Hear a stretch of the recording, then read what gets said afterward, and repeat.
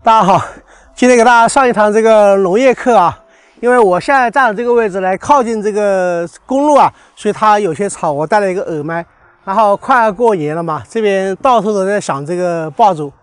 在我们镜头的后方的话是三十亩的这个葡萄园，也是我们村里面唯一的一个以种植葡萄为主的这么一种基地。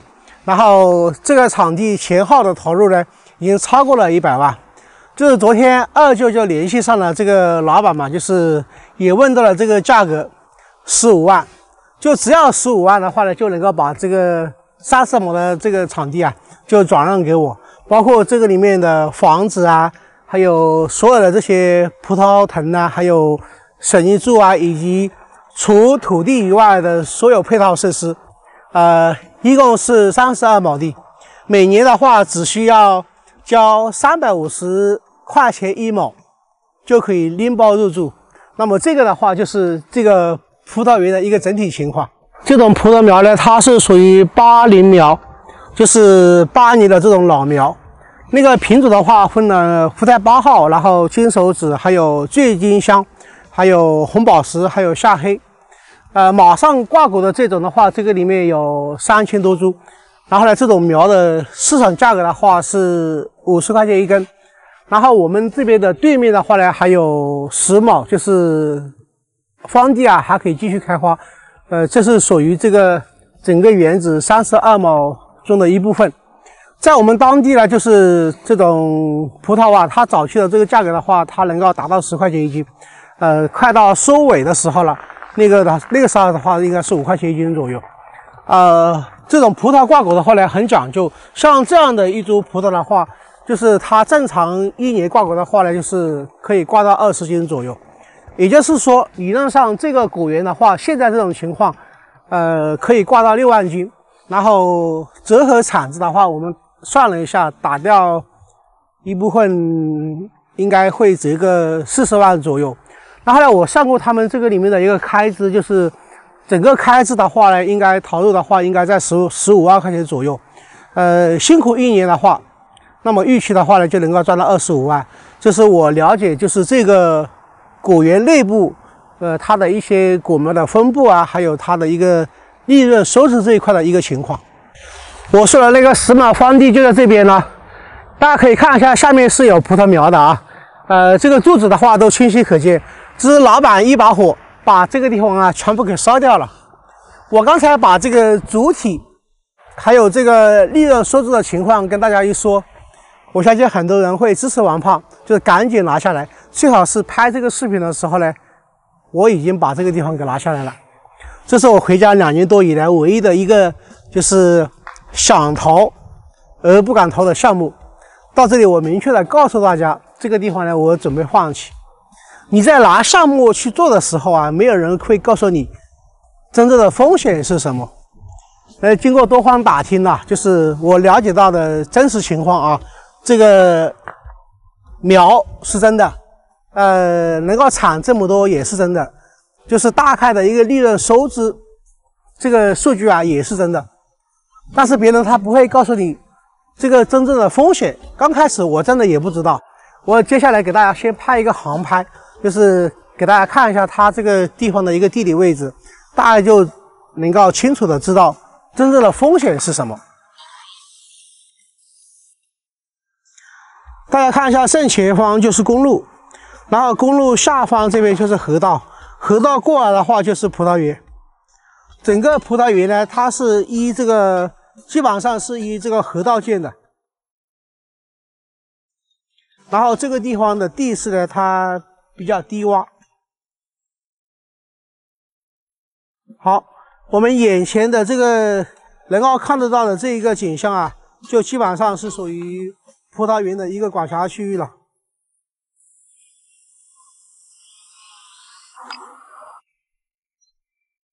好了，现在这个飞机会回来了。刚才大概的地势的话也给大家看了。这个园子呢，一共是建成了四年。然后之前我们跟大家说过，我们这个地方啊，这个水资源这一块非常丰富，每年它都会发大水。然后洪水期就是发生在五月、六月跟七月份。然后这个葡萄呢，它的挂果时间的话，就是丰收季节的话是八月份，八月底开始就开始丰收，所以它再怎么样呢，就是它都经受不住就是一场洪水的洗礼。所以呢，建成四年发了三年大水，然后去年没有发大水呢，去年他没有心思就是再种下去，就是每年呢就是投入要投入十多万，然后连续三年下来，这个心都淡了。所以呢，谁还会有心思再继继续坚持下去？所以我们上个视频就网友说的好嘛，就是不到万不得已，就谁都不愿意就是放弃。所以大家可以想象这种创业的艰难。看着这么大的一片园子，真的非常非常可惜。不过呢，我看上这个园子的一部分，如果人家真的退出去的话，我想做下个五亩到十亩，就是作为我的一个中转用。因为那边那个地方有一个鸡棚子，然后那边还有一个房子，呃，可以这么留留个十亩场地出来。呃，我的养殖区域呢，全部是在对面，就是整个养殖区域，就是跨度区域的话，已经超过了五十里。那我可以将我这个这个待宰的鸡啊，统一的。中转到这个位置，这样的话能够就是减少我很多的一些人力物力的一个投入。然后随着今后的这种养殖区的不断扩建呢，呃，我也可以把这个地方作为我今后的一个就是这种标准化的屠宰车间，呃，也可以去为我的下一步去做准备。那搞农业的话呢，呃，我是随感而发，我想到什么东西说什么，大家还是要要。就入行要需要谨慎，真的是要观察细致入微，呃，会有很多的细节，每一个小细节都可能决定你的一个成败，所以大家要多看、多听、多想，然后听取多方的一些意见。嗯，入行呢，就是还是要要三思而后行，也祝就是所有就是想搞这样的养殖或者是种植的朋友们。呃，能够一帆风顺吧。好了，我们这个视频的话就先到这里，感谢大家对王胖的支持。大家好，周爷在长沙那边待了两天啊，然后把我们这个建腊鱼场的材料啊，一次性都装回来了。呃，从今天开始呢，我们的这个腊鱼场啊，就算是正式开动。呃，那么我们在最近的这段时间内，会对整个这个长春的旧村委进行改造。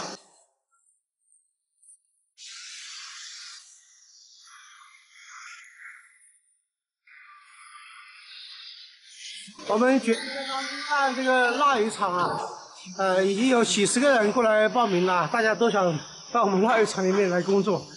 啊，人说里面呢，什么大的产业。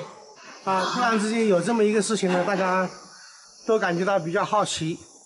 然后我们这个厂房呢，第一步就是先搭这个钢架棚，搭完钢架棚之后呢，然后第二步就是在那边去做那个净化板房。这一面的话就是我们那个呃熏腊鱼的这个这这个这个车间了。呃，到时候这边搭上钢架棚，然后再做上过滤网这些。啊，安上灯光这些就比较漂亮了。然后这边是我的之前的四个烤箱啊，我给大家看一下。我们肉眼的招牌动作呢，对吧。小心。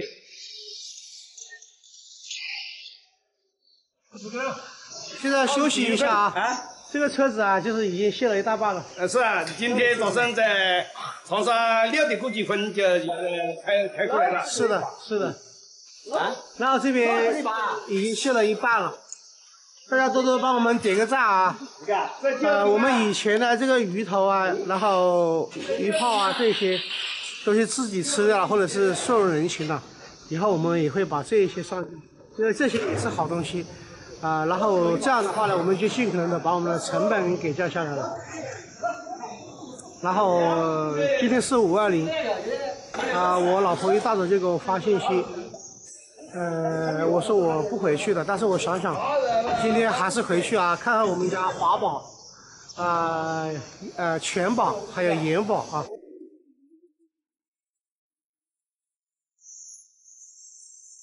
很好吃的，都小，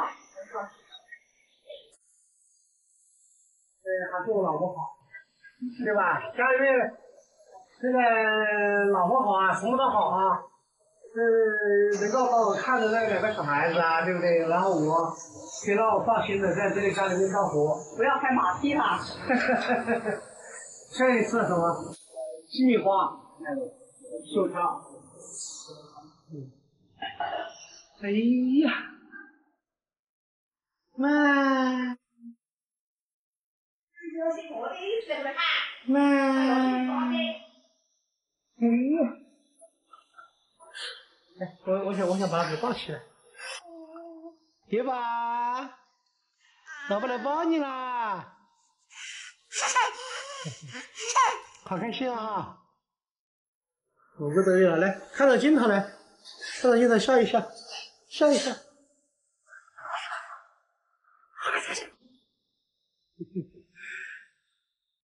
很听话的啊，嗯，不哭不闹。本来他们娘俩，然后梁山本来是要回去的，明天，因为明天有事情就不回去，所以我这心里面也特别想嘛，就趁着这个时间段，我就是过来一下。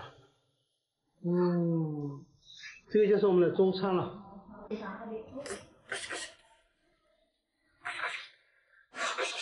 来，拿个嘿，你睡觉觉了还要？对，每天中午的时候就是还要睡一下觉觉哈。然后小孩子嘛，现在也真的是很好带啊。今天老婆，今天是五万零啊，五万零呢，就是我给你发个红包。我会发什么红包？到时候还是要给你。我这拍个视频呢，你乱讲，你真的是你。先吃饭，先吃饭吧。好，先吃饭。然后儿子，儿子下午去看场电影吗？嗯，我还有课。下午。下午还要上英语课。哦，下午还要上英语课。那好吧，那我们我们今天啊，这个腊鱼场那边正式开始搞装修了。然后咱们又在家里面啊，就是趁着这一次时候，就是好好的跟家人。